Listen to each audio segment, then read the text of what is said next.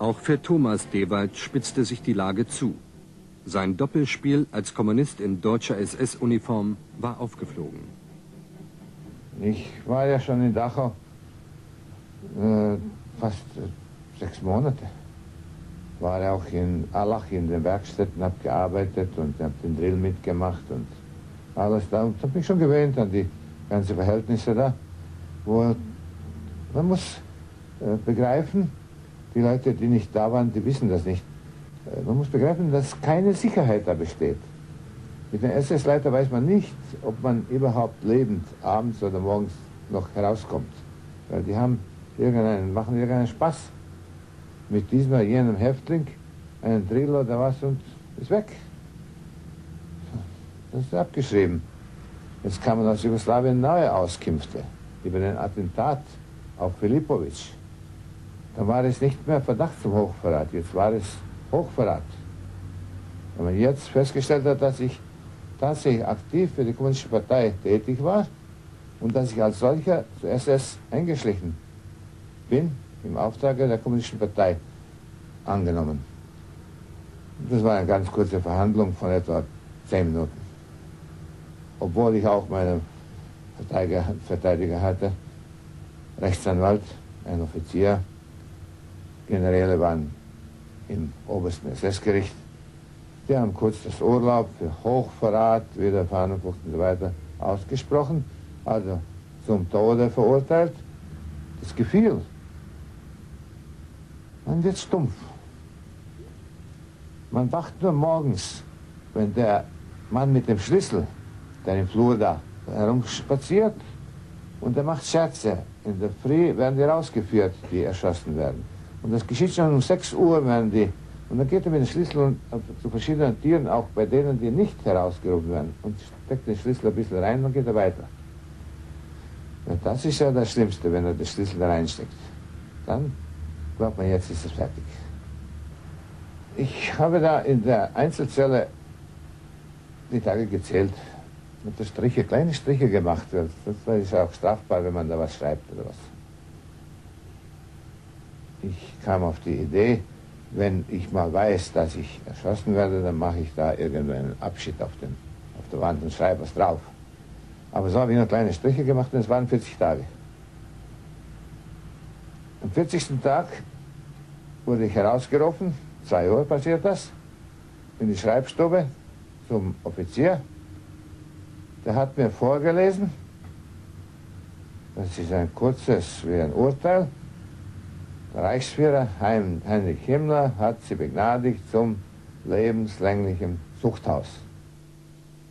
Kurz vor der Begnadigung und nach der Begnadigung, also bleibt ein Monat, äh, war wieder eine Musterung, eine Art Musterung. Wir waren alle da auf dem Appellplatz, die SS-Leute und eine Kommission, also wie man das heute nennt, es waren SS-Offiziere, haben da ausgesucht, ohne Rücksicht auf die Strafe. Sie haben nicht gefragt, ob jemand lebenslänglich ist oder drei oder fünf Jahre Zuchthaus hat oder Arrest.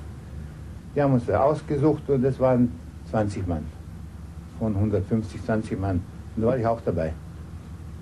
Zur Bewährungseinheit Dirlewanger. Diese auf Himmlers Befehl gegründete SS-Sondereinheit für die Partisanenbekämpfung setzte sich vor allem aus Sträflingen zusammen. Der Obersturmführer Oskar Dirlewanger hatte in seiner Truppe absolute Gewalt über Leben und Tod. Zweifler oder Verräter wurden erschossen, nicht selten von Dirlewanger persönlich. Traurigen Ruhm erwarb sich die Dirlewanger Brigade bei der Niederschlagung des Warschauer Aufstandes.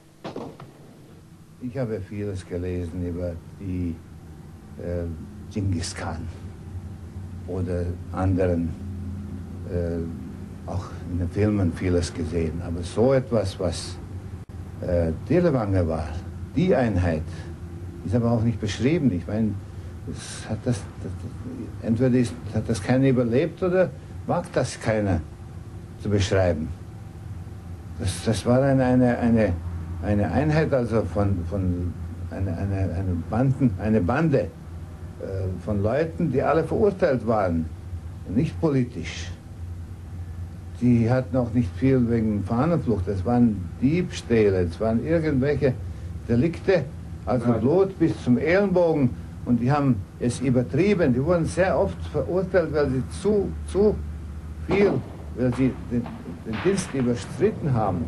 Mit Dienst überschreiten meint Dewald noch mehr töten, als befohlen war.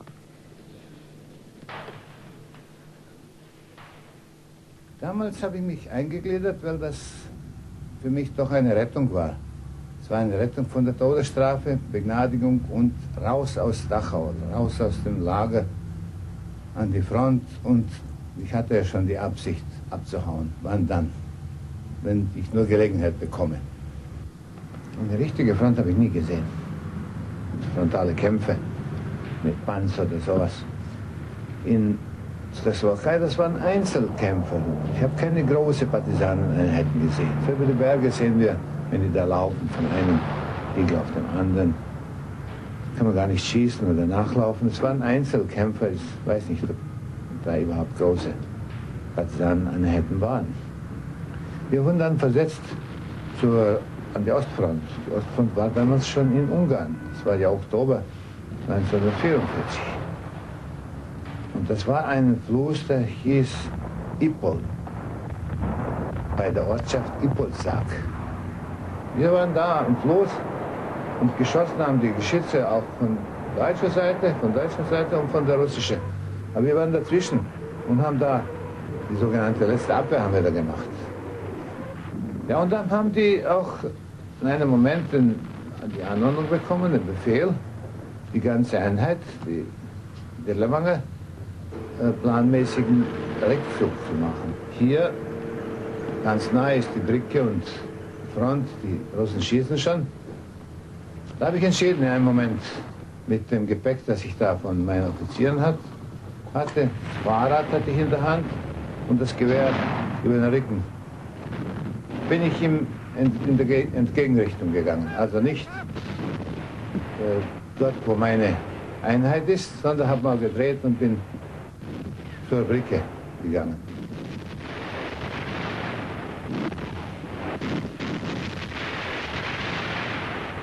Auf der Seite, wo wir waren, des Flusses, da war ein Damm.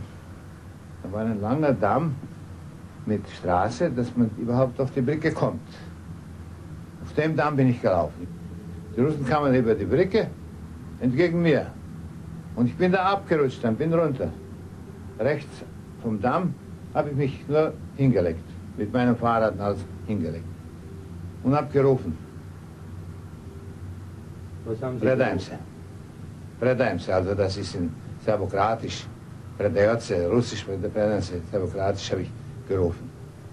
Da kam ein Spätrupp war, also drei Soldaten russische kamen da, der eine hat mir das Fahrrad genommen, hat es weggeschmissen, auch die Klamotten, hat geschaut, was da ist und der dritte hat mir das Gewehr abgenommen. Ich übergebe ihm mit dem Gewehr, das ist doch komisch. Er hat mir abgenommen, hat es auch weggeschmissen. Und hat mich sofort weitergegeben und die sind dann weitergegangen, nicht wahr? Da hat mich ein, ein, zwei Soldaten haben mich zurückgeführt. Gleich hinter der Brücke war es so ein, ein, eine Schreibstube von einem Offizier, der hat gefragt, welche Einheit ist da drüben, von welcher Einheit sind Sie, was für Waffen haben Sie da und alles. Ich wusste nicht viel. Ich wusste nur meine Einheit, wie die Waffen heißen, was die da haben und was da noch gibt und welche Einheiten. Ich war ja nicht so im Leben richtiger Soldat, dass ich das alles wusste. Ich sage, ich weiß nicht viel.